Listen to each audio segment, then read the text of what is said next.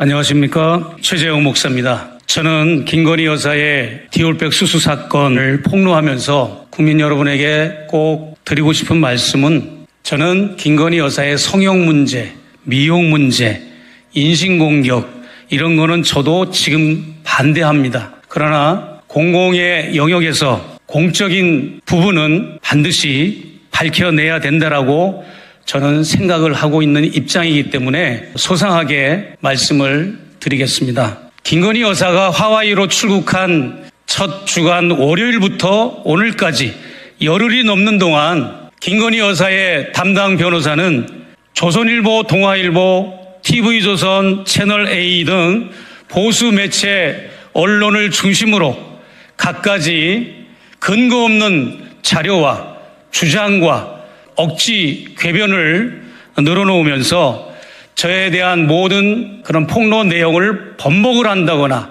혹은 뒤집어 엎는 말을 한다거나 기존에 알던 모든 인지된 사실들을 다시 뒤바꿔 놓으려고 하는 노력들을 해왔는데 그것은 국민 여러분들이 더 잘 알 것이고 손바닥으로 하늘을 가릴 수 없다고 하는 것을 저는 말씀을 드리겠습니다. 하도 많은 기사들을 쏟아내고 하도 많은 반박들을 해왔으나 대응할 가치조차도 없습니다. 그러나 요 한 가지만 꼭 짚고 넘어가겠습니다. 대기실에서 선물을 들고 기다렸던 남녀 대기자 두 사람은 대통령실 직원이었고 경원이었다라고 주장을 해왔습니다. 그러나 여러분 생각해 보십시오. 용산에서 서초동까지 대낮에 교통이 막힙니다.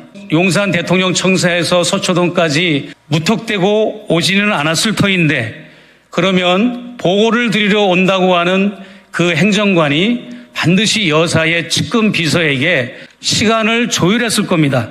그 시간을 조율한 것을 제시해 달라고 제가 서울의 소리에서 공개적으로 요청했는데 그 이튿날 반박한 내용이 바로 6페이지짜리 전 언론에 공개된 그 성명서입니다. 그러나 여러분 그것을 보시면 누구라도 이것이 거짓임을 직시할 수가 있습니다. 첫째, 문서를 작성한 근거로 사진을 제시했는데 그것은 전혀 제가 도착한 시간, 제가 접견한 시간과 비교해 볼 때 용산에서 비행기 타고 날라오지 않는 이상 그 시간이 일치하지를 않고요. 두 번째로 대통령실의 보고서는 일급 문서 혹은 특급 문서입니다.